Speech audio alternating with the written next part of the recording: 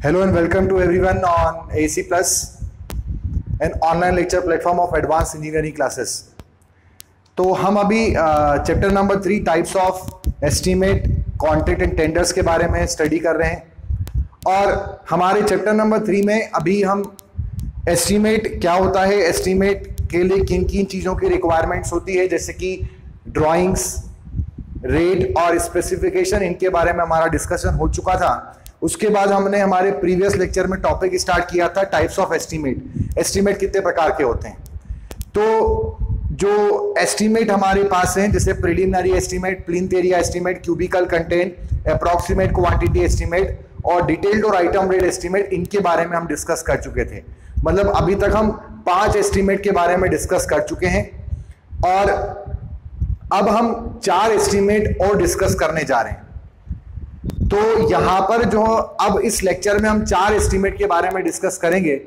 वो है revise estimate supplementary and revise estimate supplementary estimate and last में annual repair and annual maintenance estimate तो सबसे पहले हम तीन एस्टीमेट के बारे में डिस्कशन करते हैं। वो तीन है। Revise estimate next is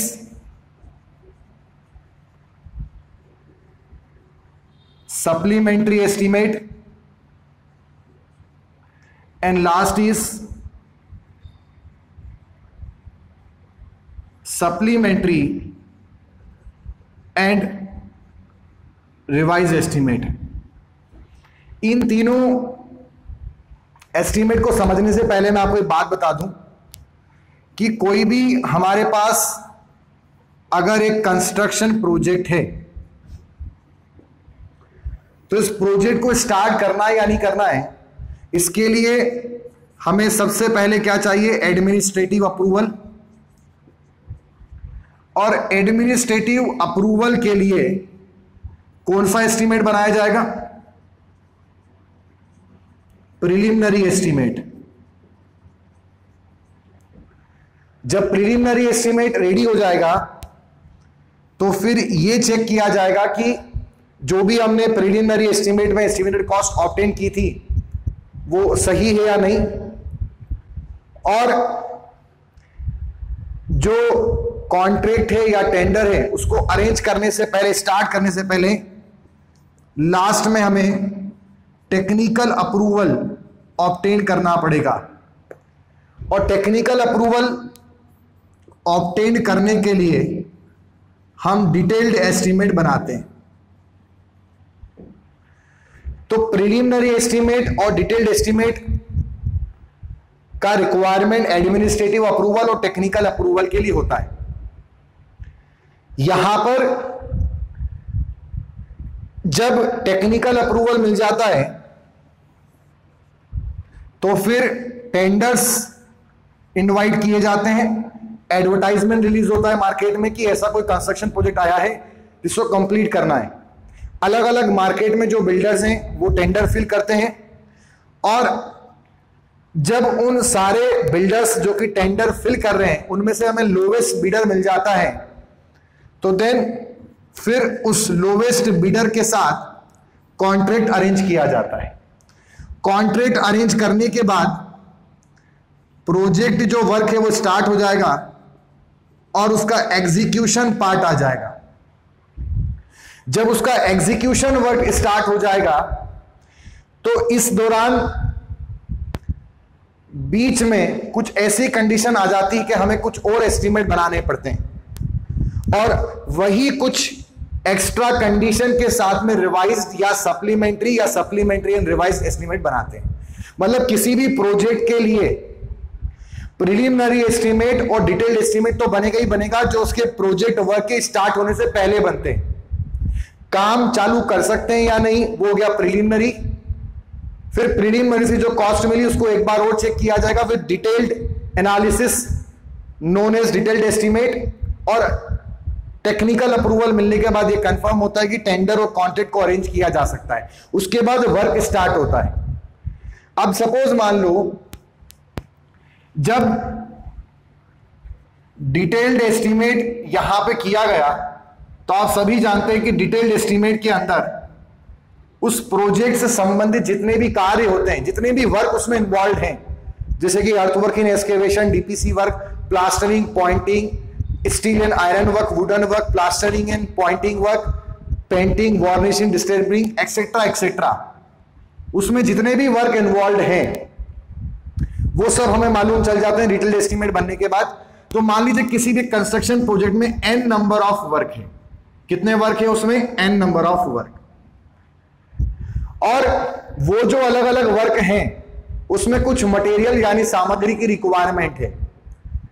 कौन कौन से मटेरियल जैसे कि cement sand gravel reinforcement steel wire paint ऐसे अलग अलग सामग्री की हमें रिक्वायरमेंट है।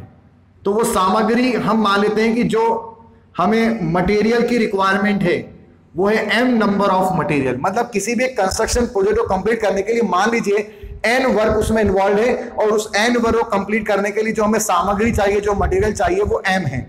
M is the number of material and n is the number of works involve in that project तो क्या होता है कि आपका जो भी प्रोजेक्ट है, कोई भी प्रोजेक्ट हो, उसमें प्रिलिमिनरी एस्टीमेट तो बनाएँगे और डिटेल एस्टीमेट तो बनाएँगे, परंतु प्रोजेक्ट के एग्जीक्यूशन के दौरान, अगर उसके नंबर ऑफ़ वर्क में, जो कि पहले से थे, और मटेरियल में कुछ चेंजेस आते हैं, कुछ डेविएशन आते हैं, जिससे कॉस्ट में कोई चेंजेस ना आए, या कुछ कॉस्ट में सेविंग हो, या कुछ एक्स्ट्रा कॉस्ट लग जाती है तो इसके लिए हमें अलग से एस्टीमेट बनाना पड़ता है। और वो जो अलग से एस्टीमेट बनाते हैं, उन्हीं का नाम है revise supplementary and supplementary and revise estimate मतलब ये तीन एस्टीमेट हर प्रोजेक्ट के लिए नहीं बनाएँगे। हर प्रोजेक्ट के लिए कौन सा एस्टीमेट बनेगा? प्रिलिमिनरी एंड डिटेल्ड अगर प्रोजेक्ट के एग्जीक्यूशन के दौरान मटेरियल में या वर्क में कुछ चेंजेस आते हैं जिससे एक्स्ट्रा कॉस्ट लग जाती है कॉस्ट बच जाती है, भले कॉस्ट ना लगे या ना बचे, परंतु एक्स्ट्रा कुछ वर्क आ जाता है, अलग से कुछ काम आ जाता है, या अलग से कुछ मटेरियल में चेंज आता है तो हमें ये तीन एस्टीमेट बनाने पड़ते हैं। अब हम इन तीन एस्टीमेट को समझने चलते हैं। आई होप आप रिवाइज सप्लीमेंट्री और सप्लीमेंट्री एंड रिवाइज एस्टीमेट के बारे में समझ पाए होंगे कि कब इन एस्टीमेट्स को बनाया जाता है। ठीक मतलब ये सभी प्रोजेक्ट्स के लिए नहीं बनाते। अब हम डिटेल में समझने चलते हैं कि revise supplementary and revise estimate कब बनाए जाते हैं। नाउ इन तीनों की डेफिनेशन के अंदर कई सारे कॉन्ट्रडिक्टरी स्टेटमेंट्स आते हैं। और एग्ज़ाम में पूछते भी है कि ये वाला कब बनाएँगे, ये वाला कब बनाएँगे, ये वाला बनाएँगे, कब बनाएँगे। तो याद रखने में बड़ा कंफ्यूजन होता है। तो मैं पहले क्लियरली आपको डीमार्केट करते हुए चलूँगा। चीज़ों को धीरे धीरे सिंपल वे में समझाऊँगा। प्रैक्टिकल एग्जाम्पल्स को लेकर। जो रिवाइज एस्टिमेट है, इसको हम तीन कंडीशंस के अंतर्गत बनाते हैं। प्रोजेक्ट के एग्जीक्यूशन के दौरान जब प्रोजेक्ट का कार्य चल रहा है, उस दौरान फ़ील्ड पर कुछ तीन स्थितियाँ पैदा होती हैं। जिसके तहत रिवाइज एस्टीमेट दोबारा से बनाना पड़ता है in spite of detailed and preliminary detailed और प्रिलिमिनरी तो हो चुका है, उसके अलावा रिवाइज भी बनाना पड़ता है, तीन ऐसी कुछ कंडीशंस होती हैं। कभी कभी एक ऐसी कंडीशन आती है जिसके बारे में हम डिस्कस करेंगे, एक ऐसी कंडीशन आती है जब सप्लीमेंट्री एस्टीमेट बनाना पड़ता है, और दो ऐसी कंडीशन आती है जब सप्लीमेंट्री एंड रिवाइज एस्टीमेट बनता है। तो चलिए हम इन्हीं कंडीशंस के बारे में डिस्कस करते हैं। सबसे पहले हम अगर यहाँ पर बात करें कि अगर हमारे पास सपोज़ कोई एक कंस्ट्रक्शन प्रोजेक्ट है, एग्जांपल, जो बोल रहा हूँ उसको समझना। और उस कंस्ट्रक्शन प्रोजेक्ट में एन नंबर ऑफ़ वर्क है। कौन कौन से वर्क है?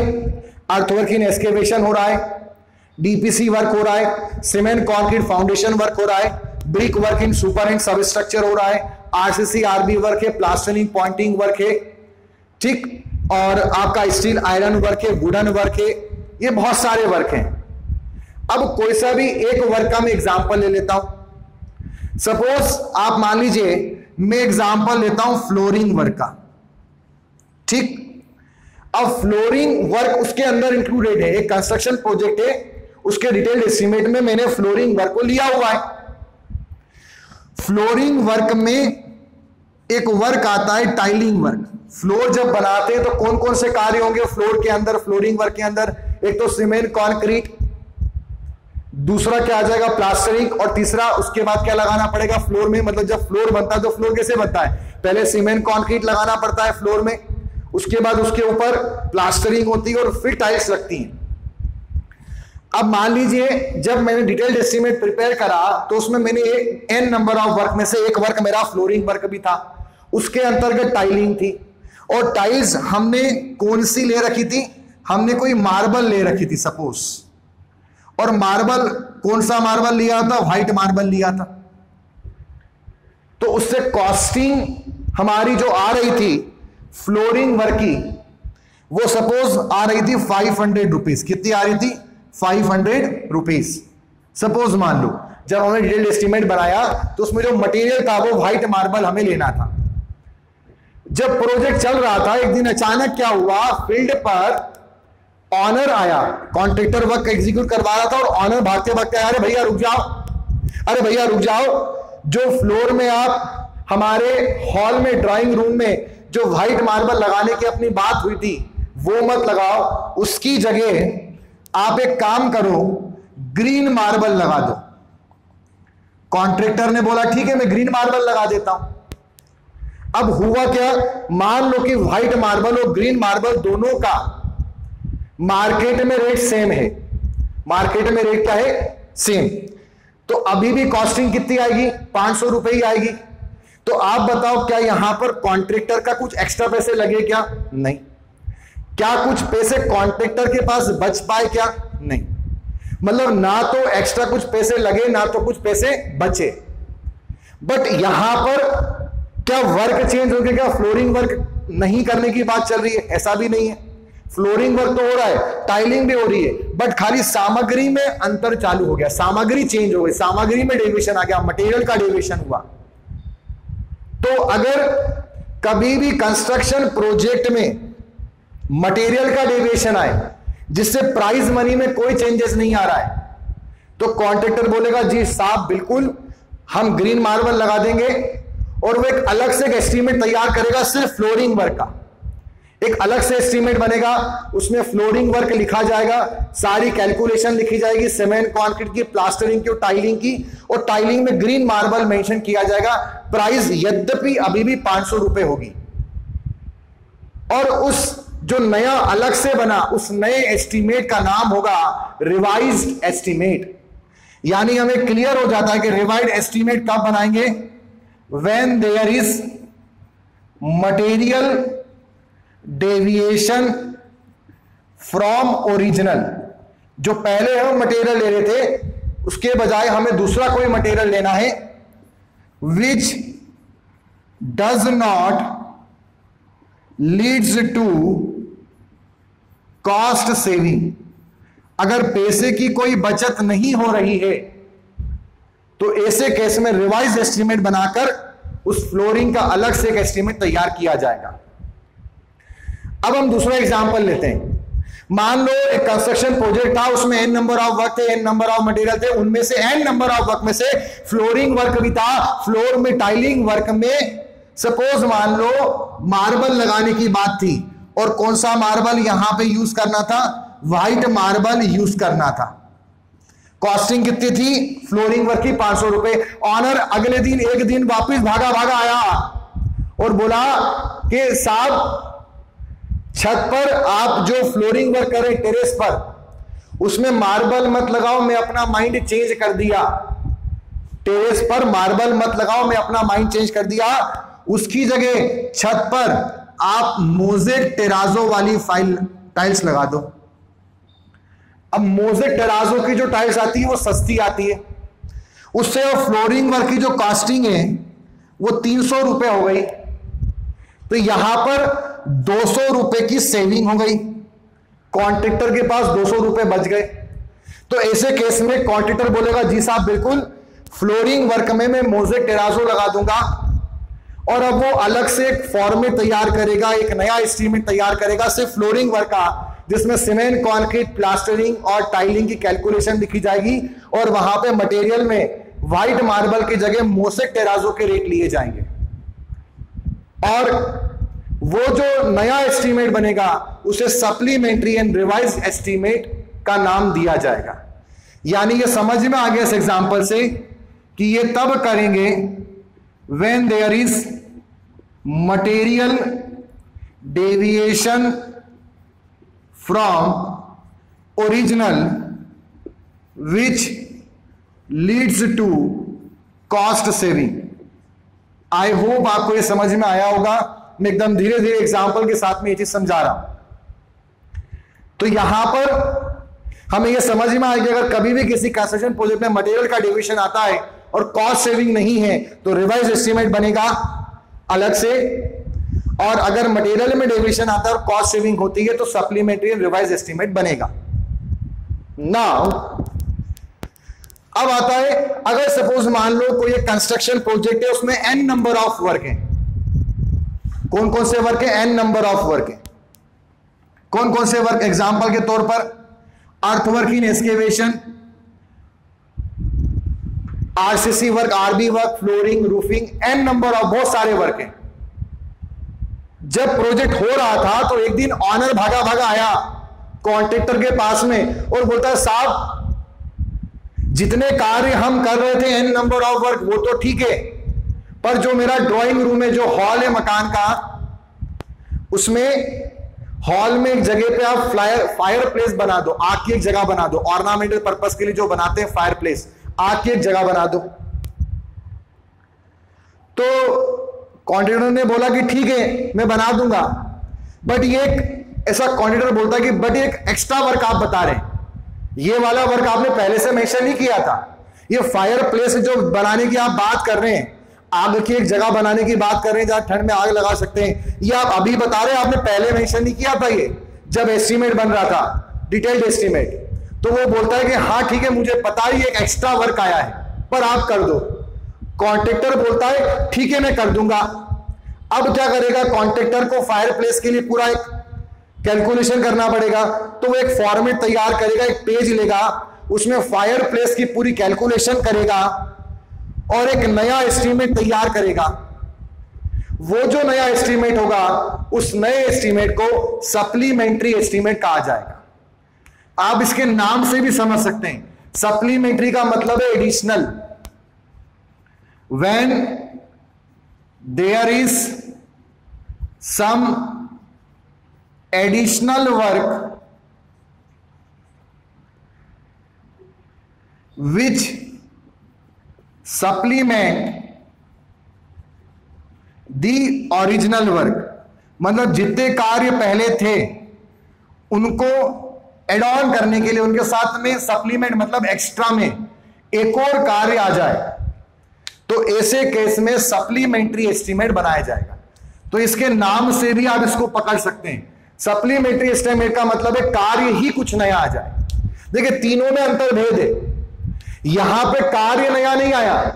कार्य उतने ही है बट मटेरियल में चेंजेस हुआ पर पैसे में कोई बचत ना हो तो रिवाइज्ड और पैसे एक्स्ट्रा लग जाए, तब भी रिवाइज्ड अगर कार्य नए नहीं आए मटेरियल में डेविएशन हुआ, पर पैसे की बचत हो जाए तो सप्लीमेंट्री एंड रिवाइज्ड और अगर कुछ एक्स्ट्रा कार्य निकल आए तो फिर सप्लीमेंट्री एस्टीमेट बनाया जाता है.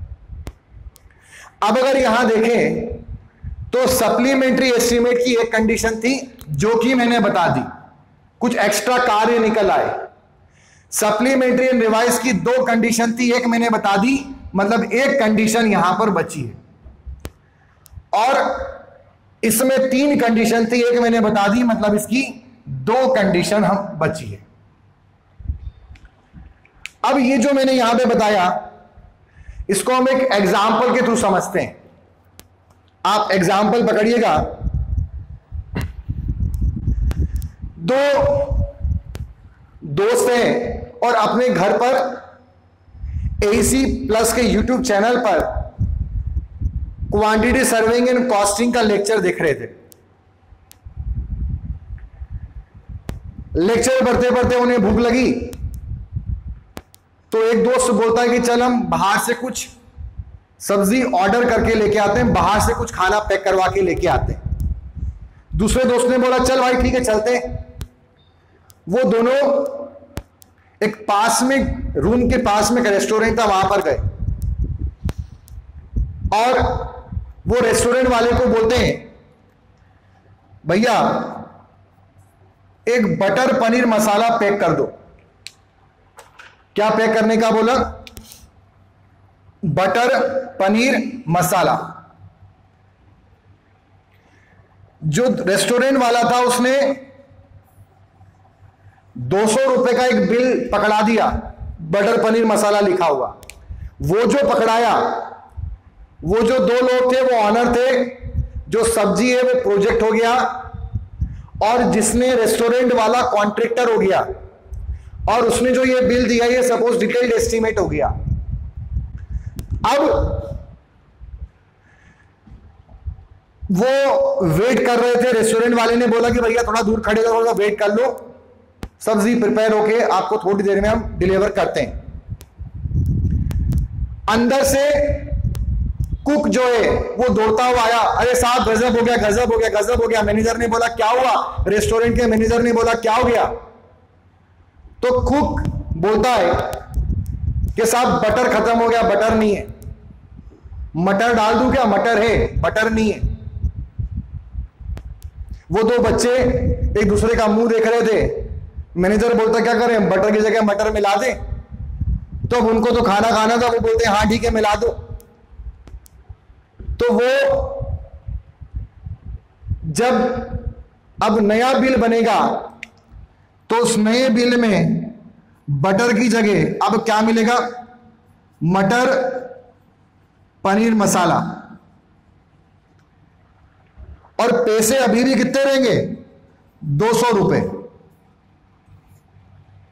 सब्ज़ी अभी भी उन्होंने एक ही पैक कराई है, कार्य अभी भी एक ही है।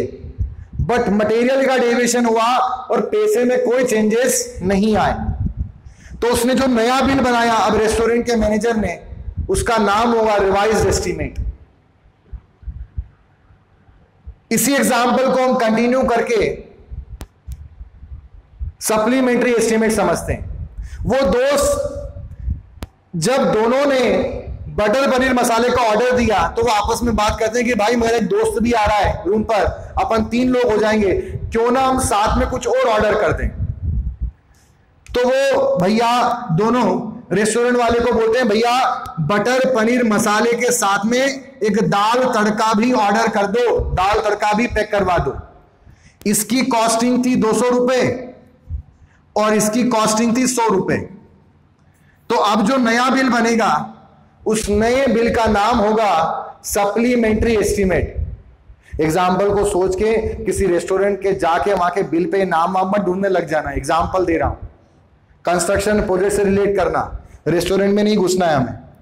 तो बटर पनीर मसाला और दाल का कितना हो गया? सौ रुपए। मतलब यहाँ पर अगर देखें तो साथ में additional extra work dal tadka भी आ गया। तो अब जो एस्टीमेट बना वो हो गया सप्लीमेंट्री एस्टीमेट और मान लो कि हम यही कंडीशन लेते हैं सप्लीमेंट्री रिवाइज एस्टीमेट को समझने के लिए। दोनों लोग वेट कर रहे थे।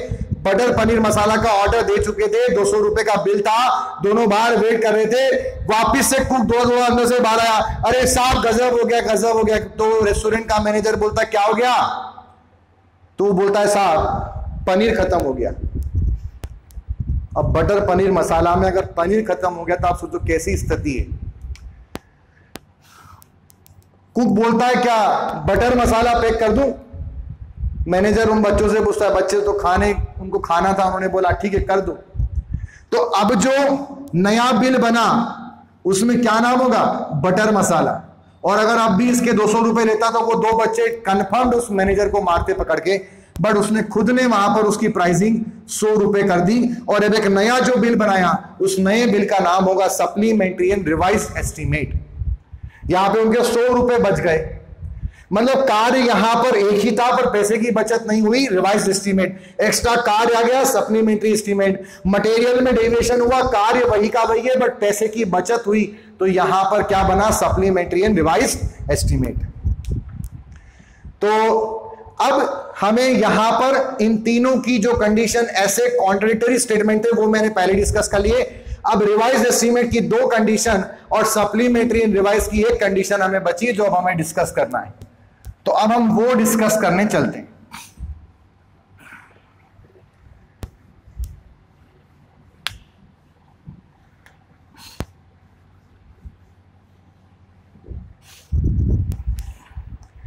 तो नाउ हम अब डिस्कस करने जा रहे हैं। रिवाइज एस्टीमेट की दो कंडीशंस और।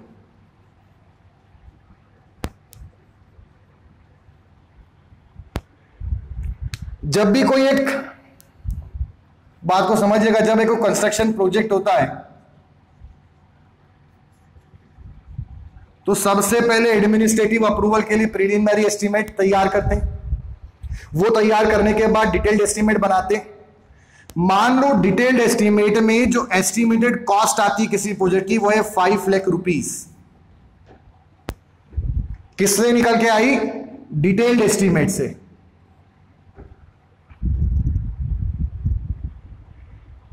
ठीक? या मान लो कि कॉन्ट्रेक्टर जब कॉन्ट्रैक्ट साइन करेगा तो उसने जो प्रोजेक्ट के लिए राशि, जो वो रेट कोट कर रहा है कॉन्ट्रेक्टर की, ये पूरा प्रोजेक्ट मैं इतने में कर दूँगा, वो इतना है.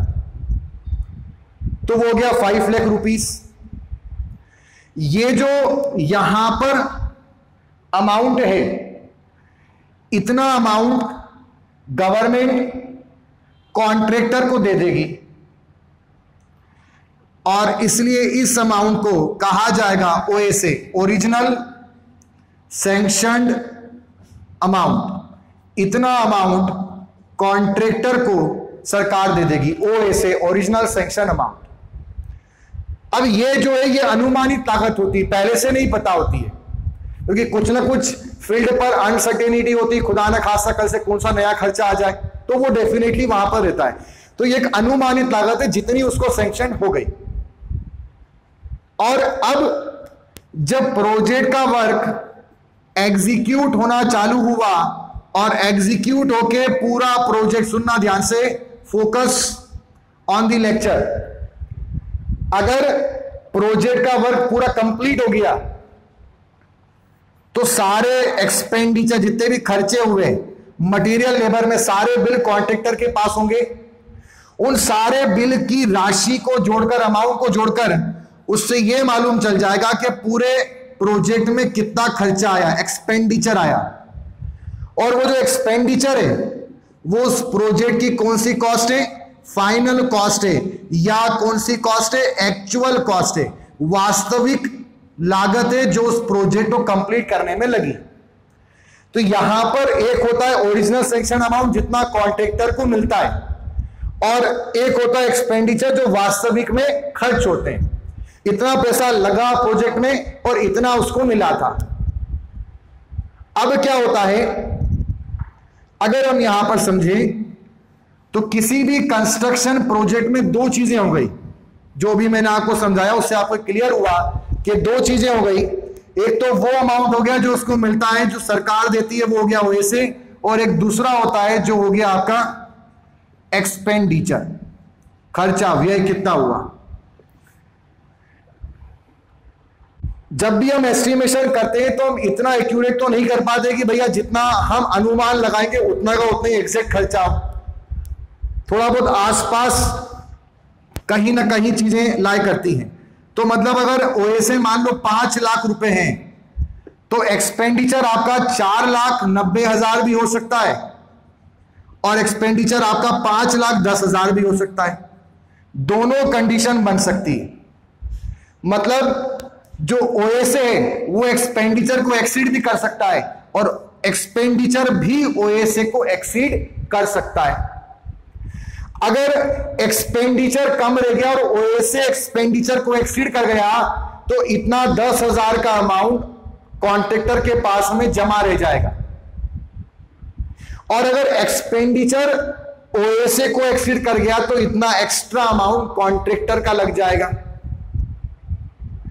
अगर कॉन्ट्रेक्टर के पास कुछ अमाउंट बाकी बचा रह गया या कुछ अमाउंट कॉन्ट्रेक्टर के पास एक्स्ट्रा लग गया और अगर वो अमाउंट कम है तो कोई दिक्कत नहीं है। इतना अगर बच गया तो वो रख ले और ज़्यादा लग गया तो वो अपने हिसाब से अपने प्रॉफिट से मैनेज करे। बट यहाँ पर अगर ज़्यादा बच जाए और ज़्यादा पैसे लग जाए तो ऐसे केस में उसको सरकार को रिटर्न करने पड़ेंगे या सरकार को उसको देना पड़ेगा, अगर उसका ज़्यादा लगेगा तो। और वो जिस एक नए एस्टीमेट वापस से बनाया जाएगा कि कॉन्ट्रेक्टर सरकार को बोलेगा, साहब, आपके बीस हज़ार रुपए मेरे पास बचे रह गए थे, ये आप रिटर्न कर ले लो।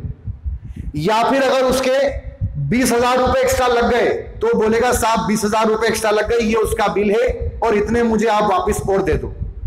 जितने आपने दिए थे उसके साथ में आप मुझे बीस हज़ार और दे दो, इतने मेरे एक्स्ट्रा लग गए, खर्चा एक्स्ट्रा हो गया था। ऐसे केस में जब ओएसए इसको एक्सिड करेगा या एक्सपेंडिचर ओएसए को एक्सिड करेगा तो एक नया एस्टीमेट बनाएँगे और उस नए एस्टीमेट का नाम होगा रिवाइज एस्टीमेट यानी रिवाइज एस्टीमेट की तीन कंडीशन थी। पहली थी material deviation which does not leads to any cost saving दो कंडीशन और बाकी बची थी, वो दो कंडीशन ये है। वो दो कंडीशन कि जब ओएसए एक्सपेंडिचर को एक्सिड कर जाए तब, या एक्सपेंडिचर ओएसए को एक्सिड कर जाए, तब भी हम रिवाइज एस्टीमेट बनाते हैं। अब कैसे बनाते हैं, कब बनाते हैं, उसको समझते हैं। इसमें जो दूसरा नियम है, पहला नियम तो हो चुका है, सामग्री में परिवर्तन बट कॉस्ट में कोई सेविंग नहीं, तब पहला। तब बनाएँगे रिवाइज दूसरी कंडीशन क्या है? अगर ओरिजिनल सेंक्शन अमाउंट जो एक्सपेंडिचर होता है, उसको अगर एक्सीड कर जाता है by more than five percent when the original sanction amount exceed the expenditure by more than five percent of sanction amount OSA खुद के पाँच परसेंट से एक्सपेंडिचर को एक्सीड कर जाएगा। तो ऐसे केस में भी रिवाइज एस्टीमेट बनेगा। और तीसरी कंडीशन है कि अगर एक्सपेंडिचर अगर एक्सपेंडिचर ओएसए को एक्सीड कर जाता है by more than ten percent तो ऐसे केस में भी रिवाइज एस्टीमेट बनेगा। दोनों केस में परसेंटेज ओएसए का है। अगर आपका ओएसए एक्सपेंडिचर को पाँच परसेंट से अधिक एक्सीड करता है तो भी बनेगा, और दस परसेंट से एक्सपेंडिचर एक्सीड करता है, तब भी रिवाइज एस्टिमेट बनेगा।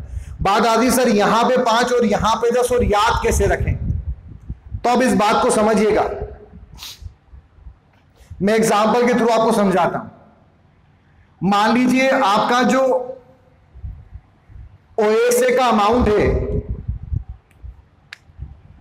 वो है सपोज़ हंड्रेड रुपीज़ तो इस हंड्रेड इतना अमाउंट सेंक्शन हुआ था। इसका पाँच परसेंट कितना होगा? पाँच रुपए। तो दो बातें हो सकती हैं। खर्चा या तो नाइन्टी सिक्स रुपए का हो और खर्चा या तो नब्बे रुपए का हो। अब अगर यहाँ पर देखें, इन दोनों केस में दो केस हो सकते हैं। दो केस यहाँ पर जनरेट हो सकते हैं। अब अगर देखें तो ओएसए इससे ज़्यादा है। ठीक? कितना ज़्यादा है? यहाँ पर इससे, इस वाले केस में दस रुपए ज़्यादा है। और यहाँ पे कितना है? चार रुपए ज़्यादा है। कौन ओए से? किससे? एक्सपेंडिचर से। दस रुपए सो का कितना होगा? दस परसेंट होगा। और चार रुपए सो का कितना होगा? चार परसेंट होगा। अगर ओए से एक्सपेंडिचर का पाँच परसेंट से कम है मतलब जो बच रहा है, जो ज़्यादा अमाउंट है, वो पाँच परसेंट से कम है। तो ऐसे केस में जो अमाउंट यहाँ पर बचा, वो बहुत कम बचा है। मतलब अगर ये सौ रुपए है और ये 96 या 95 या 97 या 98 या 99 रुपए है तो एक्सपेंडिचर कम तो है और उतना पैसे कॉन्ट्रेक्टर के पास में बच गया। कितना बच जाएगा? चार रुपए, तीन रुपए, दो रुपए, एक रुपए। तो उतने पैसे वो अपने पास में रख सकता है। ये पैसे बहुत ही कम बचे पर अगर मान लो वो पाँच परसेंट से ज़्यादा एक्सीड कर जाएगा, जैसे कि इस वाले केस में, पाँच परसेंट से ज़्यादा हो गया मतलब दस परसेंट हो गया तो ऐसे केस में ये अमाउंट ज़्यादा है और इतना कॉन्ट्रेक्टर को नहीं दे सकते। ये बात अभी सौ रुपए की लग रही है, इसलिए दस रुपए आपको कम लग रहे हैं। यहाँ पे प्रोजेक्ट करोड़ों का होता है तो ये करोड़ करीब होगा, और करोड़ का दस परसेंट आप समझ से कितना होता है। तो करीब बात ये लाखों की होती है। इतना चीज़ें हम ऐसे ही कॉन्ट्रेक्टर के पास नहीं छोड़ सकते तो उतना अमाउंट कॉन्ट्रेक्टर से लिया जाएगा in the name revise estimate revise estimate के नाम पर इतना पैसा उससे अलग से वापस से लिया जाएगा। और दूसरा एग्जांपल लेते हैं, मान लीजिए आपका जो ओएसए है, वो हंड्रेड रुपीज़ है, और जो एक्सपेंडिचर हुआ, वो हो सकता है कि वो एक सौ पाँच रुपए हो और एक्सपेंडिचर हो सकता है कि एक सौ दस हो। या मान लीजिए एक सौ बीस हो। तो कितना एक्स्ट्रा लग गया एक्सपेंडिचर खर्चा? पाँच रुपए एक्स्ट्रा लग गए। और यहाँ पे कितने एक्स्ट्रा लग गए? बीस रुपए एक्स्ट्रा लगे। पाँच रुपए सौ का कितना परसेंट है? पाँच परसेंट है। और बीस रुपए सौ का कितना परसेंट है? बीस परसेंट है। तो अब अगर मान लो कॉन्ट्रेक्टर का पाँच परसेंट ज़्यादा लग गया तो कोई दिक्कत नहीं है, वो अपने प्रॉफिट में से मैनेज करे। पर अगर 20 परसेंट हो गया तो ये अमाउंट ज़्यादा, इतना बेचारा कॉन्ट्रेक्टर कहाँ से मैनेज करेगा? तो इतना ऑनर को उसको रिटर्न करना पड़ेगा। तो क्या करेगा, जो कॉन्ट्रेक्टर है, वो इतने बीस रुपए एक्स्ट्रा का एक नया बिल बनाएगा, उस नए एस्टीमेट को बोलेंगे रिवाइज एस्टीमेट और फिर गवर्नमेंट उसको उतना बीस रुपए एक्स्ट्रा रिलीज़ करेगी। तो अब आई होप आपको मेरा एग्ज़ाम्पल समझ में आएगा कि बाय मोर देन पाँच परसेंट और by more than ten percent क्या चीज़ होती है आपको समझ में आया होगा। अब बात करते हैं कि ये कैसे याद रखें, सर, पाँच का वो दस का तो आप समझ रहा अगर ओएसए एक्सपेंडिचर के पाँच परसेंट से एक्सिट करेगा तो ज़्यादा अमाउंट सेंक्शन हो गया और खर्चा कम का हुआ तो वो जो राशि है वो कॉन्ट्रेक्टर के पास बच जाएगी या गवर्नमेंट डिपार्टमेंट में बच जाएगी। ऐसा भी हो सकता है। इससे करप्शन के चांसेस बढ़ेंगे। तो यहाँ पर इसलिए जो नियम है वो कम का बनाया। और वैसे भी हम कॉन्ट्रेक्टर को प्रॉफिट देते ही हैं तो हम ज़्यादा उसके पास वहाँ पर नहीं कर सकते। इसलिए आप ध्यान रखना कि जब पैसे कॉन्ट्रेक्टर के पास बचने वाले हो तो कम का नियम है एज पर इंडियन स्टैंडर्ड और अगर कॉन्ट्रेक्टर के पैसे एक्स्ट्रा लग रहे हैं तो वो जब ज़्यादा अमाउंट होगा, तभी उसको रिटर्न किया जाएगा। क्योंकि उसके पास प्रॉफिट ऑलरेडी होता है। क्लियर है? आई होप आपको ये दो कंडीशन यहाँ पर समझ में आई होगी। अब मैं इन्हीं दो चीज़ों को आपको एक एग्ज़ाम्पल से समझाने की कोशिश करता। हूँ सपोज़ मान लीजिए, आपका जो घर है, उसमें आपके पिताजी हैं। आपके पिताजी कौन है? आपके घर में गवर्नमेंट। और आप हैं।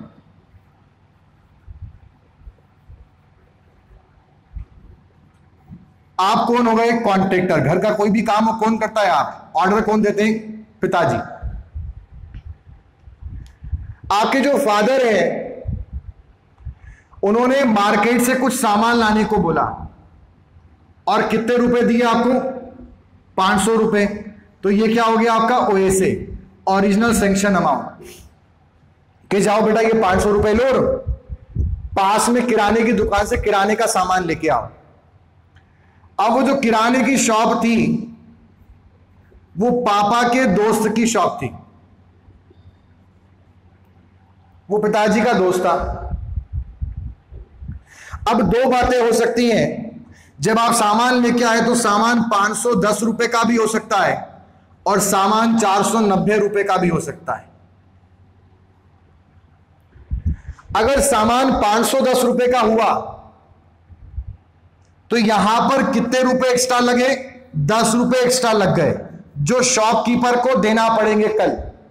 और अगर चार सौ नब्बे रुपए हो गए तो कितने रुपए बच गए? टेन रुपीज़ यहाँ पर क्या हो गए? सेव, जो कहाँ चले गए? आपकी जेब में। तो आप बताइए प्रैक्टिकली ग्राउंड पर सोचना, दिल पे हाथ रख के बोलना कि किस केस में आपके पिताजी, ये आपके पिताजी का फ्रेंड है सपोज़ मान लीजिए। तो उन्हें किस चीज़ में ज़्यादा दिक्कत होगी? आपको पॉकेट मनी वो वैसे भी देते हैं। हर दिन आपको पॉकेट मनी मिलती है। तो अगर आपको पाँच सौ रुपए किसी सामान को लाने के लिए दिए तो जब आपके पास बच जाएँगे, तब ज़्यादा उन्हें दिक्कत होगी, तकलीफ़ होगी, या जब वहाँ पर एक्स्ट्रा उनके दोस्त को कल देने रहेंगे तो वो अधिक दिक्कत होगी। ठीक? आप कुछ भी बोले, बट एक बात मैं आपको बता दूँ, जब पैसे आपकी जेब में एक्स्ट्रा बचेंगे, तभी उनको अधिक दिक्कत होगी। क्योंकि उनको पता है कि जब इस नालायक को मैं हमेशा रोज ही पॉकेट मनी देता हूँ तो फिर अब ये दस रुपए एक्स्ट्रा जो है इसको मुझे रिटर्न करने चाहिए। तो इसी ही केस में थोड़े से हार्श नियम बनेंगे। और ये जो दस रुपए एक्स्ट्रा लगे, वो उनका दोस्त है, वो आज नहीं तो कल उसको जाके दे देंगे। सेम ऐसे ही गवर्नमेंट डिपार्टमेंट में होता है। ये है गवर्नमेंट ये है कॉन्ट्रेक्टर अगर एक्स्ट्रा पैसे लग गए, अगर एक्सपेंडिचर ओएसए को एक्सीड करा तो जो सप्लायर है, उसको पैसे देना बाकी बचेंगे। जिससे सामान मंगवाया, उसको पैसे देना बाकी बचेंगे। तो कुछ भी नहीं करना है। जो कॉन्ट्रेक्टर है, वो इस दस रुपए का नया बिल बनाए in the name of revise estimate और उतने दस रुपए सरकार रिलीज़ करेगी और उतने सप्लायर को मिल जाएँगे। उसमें दिक्कत नहीं है। बट अगर कॉन्ट्रेक्टर के पास पैसे बच गए तो डिपार्टमेंट के लोग भी मिलके खा लेंगे गवर्नमेंट और कॉन्ट्रेक्टर भी खा लेगा। करप्शन को बढ़ने के चांसेस हैं। और कॉन्ट्रेक्टर को जब हम ऑलरेडी प्रॉफिट दे रहे हैं तो फिर एक्स्ट्रा पैसे उसके पास हम क्यों छोड़ें? इसलिए यहाँ पर नियम बनाया गया, जब भी खर्चा कम होगा ओएसए से तो पाँच परसेंट की बात ध्यान रखना। और जब भी खर्चा ज़्यादा होगा ओएसए से तो दस परसेंट की बात याद कर लेना। एग्ज़ाम्पल बता दिया। एग्ज़ाम्पल से याद रखने की कोशिश करना एग्ज़ाम के टाइम में। एग्ज़ाम में पूछते हैं ये कि रिवाइज एस्टिमेट कब बनाया जाता है। चलिए तो अब हम आगे बढ़ते हैं। तो जो अभी हमने रिवाइज एस्टीमेट समझा, इसकी तीन कंडीशन हो जाती है। तीनों कंडीशन में आपको वन बाय वन बता देता हूँ। पहली कंडीशन क्या है? Material deviation which does not leads to cost saving दूसरा, जब ओएसए एक्सपेंडिचर को एक्सीड करेगा, कितने से सोच समझ के? बाय मोर देन फाइव और ten. By more than five percent. पैसे बच रहे हैं तो मोर देन फाइव परसेंट। और लास्ट नियम, जब एक्सपेंडिचर ओएसए को एक्सीड करेगा by more than ten percent तब डिटेल्ड तब रिवाइज एस्टीमेट बनाया जाता है। इसके बाद हमने पढ़ा था सप्लीमेंट्री एस्टीमेट वो तो बड़ा सिंपल है सप्लीमेंट्री एस्टीमेट तब बनाते हैं जब कुछ काम ही नया आ जाए। वो तो हमने पढ़ लिया। अब नेक्स्ट हम समझने चलेंगे अगला एस्टीमेट जो कि है supplementary and revise estimate supplementary and revise estimate की दो कंडीशन थी। पहली कंडीशन में आपको बता चुका था, पहली कंडीशन क्या थी? When there is material deviation from original which leads to cost saving सामग्री में परिवर्तन हुआ है, काम वही के वही है, जिसके कारण कुछ पैसे की बचत हुआ तो सप्लीमेंट्री एंड रिवाइज बनेगा। अब हम दूसरी कंडीशन को समझने चलते हैं। दूसरी कंडीशन इसकी दो कंडीशन है, अब दूसरी कंडीशन को हम समझने चल रहे हैं। मान लीजिए कोई एक कंस्ट्रक्शन प्रोजेक्ट है जिसमें ऐसा कुछ एक बिल्डिंग प्रोजेक्ट है जिसमें ऐसे कुछ बीम कॉलम बनाने समझिएगा? और मान लीजिए इतना सब बनाने को 100 परसेंट प्रोजेक्ट माना जाता है। काम आ, इसका प्रिलिमिनरी एस्टीमेट बना एडमिनिस्ट्रेटिव अप्रूवल बना रिटेल एस्टीमेट बना टेक्निकल अप्रूवल मिला टेंडर डाले गए कॉन्ट्रैक्ट अरेंज हुआ कॉन्ट्रैक्टर असाइन हो गया और काम चालू हुआ। हुआ क्या? जैसे काम चालू हुआ तो किसी कम्युनिटी ने आके उस पर रोक लगवा दी और काम बीच में अस्थायी रूप से पार्शियल रूप से रुक गया। मतलब जो वर्क है, वो यहाँ पर क्या हो गया? पार्शली अबेंडेंड कार्य कुछ टाइम के लिए स्थगित हो गया। कोर्ट ने स्टे लगा दिया प्रोजेक्ट के ऊपर। और जब स्टे लगा तो मान लो कि जो प्रोजेक्ट है जिसमें ऐसा कुछ बनाना था, वो ऐसा कुछ बन पाया। या दूसरी कंडीशन कि जब उसमें बनाना था तो वो आपका इतना कुछ बन चुका है। ठीक, मान लो कि ये इतना कुछ बना, ये प्रोग्रेस की बात कर इतना काम, मान लो, जब कोर्ट का स्टे लगा तो खाली इतना ही हुआ था, या फिर इतना हुआ था।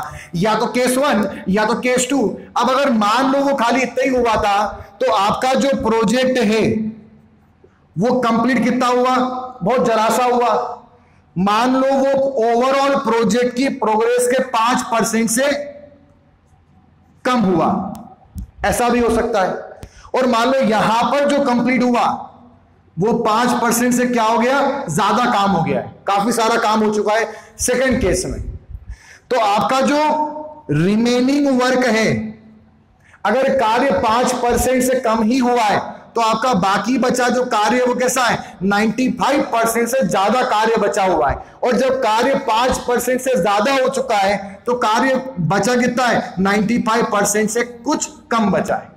मतलब यहाँ पर कुछ जरा सा हुआ है, बहुत सारा कार्य बाकी है और यहाँ पर बहुत सारा हो गया, कुछ कम काम बाकी है। तो अगर मान लीजिए कि कोर्ट का स्टे हटता है और इस प्रोजेक्ट को वापस से स्टार्ट किया जाता है तो आप केस नंबर वन में देखिए, जब बहुत सारा कार्य बाकी बचा है, अभी कुछ कार्य हुआ ही नहीं था तो ऐसे में उस प्रोजेक्ट को एक नए प्रोजेक्ट की तरफ़ वापस से स्टार्ट किया जाएगा और उसका वापस से प्रिलिमिनरी एस्टीमेट बनेगा, वापस से डिटेल्ड एस्टीमेट बनेगा और नए प्रोजेक्ट की तरह उसको स्टार्ट किया जाएगा। परंतु अगर प्रोजेक्ट बहुत सारा हो चुका था और कुछ कम ही बाकी बचा था, मान लो 40 परसेंट काम हो चुका था, मान लो 60 परसेंट मोर देन 5 परसेंट ना तो 60 परसेंट, मान लो 60 परसेंट या 5 परसेंट से अधिक है हाँ। तो मान लो 60 परसेंट काम हो गया। कितना काम बाकी बचा है? 40 परसेंट। तो क्या पूरा तोड़ दे उसको वापस से? पूरा नया करें? नहीं कर सकते। तो क्या करेंगे यहाँ पर? उस प्रोजेक्ट को वहीं से स्टार्ट किया जाएगा जहाँ पे छोड़ा था। और इसका नया एस्टीमेट बनेगा जिसका नाम होगा सप्लीमेंट्री एंड रिवाइज एस्टीमेट। वो जो प्रोजेक्ट था, उसके जो डिटेल्ड एस्टीमेट था, उसके साथ में उसका एक नया एस्टीमेट बनेगा जिसका नाम होगा सप्लीमेंट्री एंड रिवाइज एस्टीमेट और उसके तहत उस बाकी रिमेनिंग वर्क को कंप्लीट किया जाएगा। यानी जब भी कोई प्रोजेक्ट होता है और बीच में कार्य स्थगित हो जाता है तो अगर कार्य बहुत जरा सा ही हुआ था और बहुत सारा बचा है मोर देन 95 परसेंट तो एक नया प्रोजेक्ट की तरह उसको डील करेंगे। और अगर आपका जरा सा ही काम बाकी बचा था लेस देन 95 परसेंट तो ऐसे केस में सप्लीमेंट्री रिवाइज एस्टिमेट बनाकर उसे कंटिन्यू किया जाएगा। इस चीज़ को इंडियन स्टैंडर्ड के नियम, ये मैंने आपको प्रोग्रेस की तरह समझाया। इसको आप कॉस्ट के रेफरेंस में समझो। ये जो परसेंटेज है, ये जो परसेंटेज है यहाँ पर, इसको कॉस्ट के रेफरेंस में समझना प्रोग्रेस के स्टेज में भी, इस रेफरेंस में भी आप समझ सकते हैं, पर आप इसको कॉस्ट के रेफरेंस में समझो। ऑथर्स लोग इंडियन स्टैंडर्ड कॉस्ट के रिस्पेक्ट में बात करता है कि मान लो किसी प्रोजेक्ट को करने के लिए हमें सौ रुपए लगते हैं, या कुछ कॉस्टिंग लगती है, कुछ कॉस्टिंग लगती है। तो अगर बाकी बचा जो काम है, उसकी कॉस्टिंग ओरिजिनल कॉस्ट जो थी एस्टिमेटेड कॉस्ट थी, उसके 95 परसेंट से ज़्यादा है। जो बाकी बचा काम है, उसकी कॉस्टिंग बाकी बचे काम की 95 परसेंट से ज़्यादा है। तो मतलब बहुत सारा काम बाकी बचा है।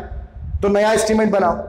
और अगर रिमेनिंग जो कार्य है, उसकी कॉस्टिंग ओरिजिनल कॉस्टिंग का, सुनना ध्यान से, जो रिमेनिंग बचा कार्य है, उसकी कॉस्टिंग ओरिजिनल कॉस्टिंग का 95 परसेंट से कम बची है। मतलब कुछ जरासी ही कॉस्टिंग बची है बस लगने की। मतलब कुछ जरासा ही काम बाकी बचा है, तभी सप्लीमेंट्री रिवाइज एस्टिमेट बनाया जाता है। तो यहाँ से सप्लीमेंट्री एंड रिवाइज एस्टिमेट की सेकंड कंडीशन जनरेट होती है। कब बनाएँगे supplementary and revise estimate when a particular construction project is partially abandon and the cost of the remaining work is less than 95% of the original cost of the project, then supplementary and revised estimate is prepared. I hope आपको यहाँ पे दूसरी condition भी समझ में आई होगी। दूसरी condition समझ में आई होगी। मैं एक बार और कंडीशन को बोलूँगा। सप्लीमेंट्री एंड रिवर्स एस्टिमेट की पहली कंडीशन क्या? है मटेरियल में कुछ चेंजेस आए which does not which leads to cost saving जिससे कुछ पैसे में बचत हो। और अगली कंडीशन क्या है? कि when work is partially abandoned काम बीच में रुक जाए and cost of remaining work is less than 95% of the actual cost of project या फिर एस्टिमेटेड कॉस्ट ऑफ़ प्रोजेक्ट तो सप्लीमेंट्री रिवर्स एस्टिमेट बनाए। तो यहाँ पर कंप्लीट होते हैं हमारे तीन estimate revise estimate supplementary estimate supplementary and revise estimate मैंने इनको एग्जाम्पल्स के द्वारा समझाने की कोशिश की। आई होप आपको ये समझ में आया होगा। नाउ अब हम हमारे लास्ट एस्टिमेट की तरफ़ आगे बढ़ते हैं, जिसका नाम है annual repair and annual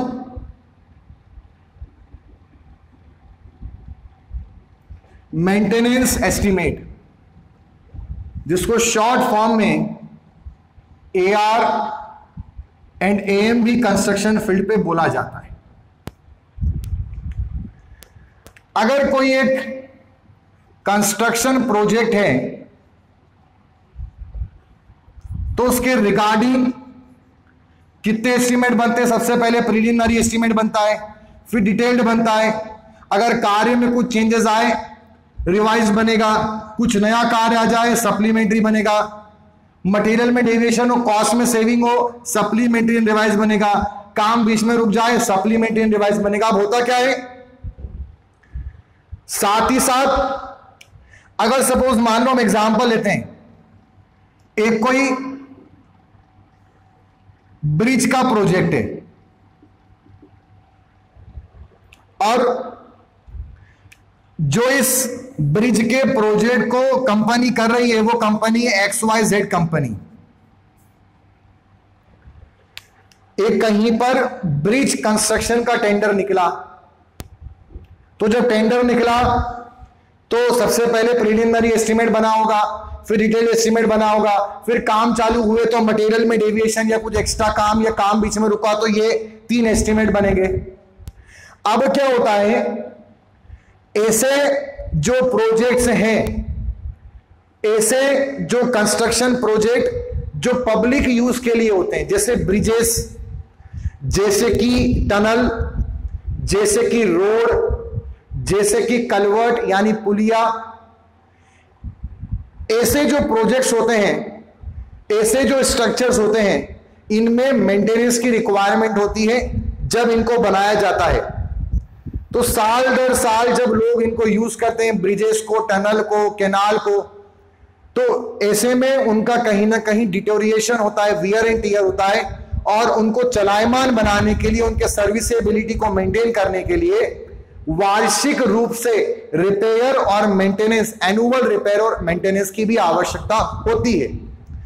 building project में इसकी बात नहीं आएगी रेसिडेंशियल प्रोजेक्ट्स में इसकी बात नहीं आएगी बट हाँ ऐसे जो भी प्रोजेक्ट हैं, जो पब्लिक यूज़ के लिए हैं, वहाँ पे ज़रूर रिपेयर और मेंटेनेंस की बात आई क्योंकि अगर किसी ने अपना खुद का घर बनाया, उसको तो वो खुद रिपेयर मेंटेनेंस कर लेगा। उसके लिए वो अलग से अलग से किसी और आदमी को क्यों ठेका गया कॉन्टेक्ट देगा?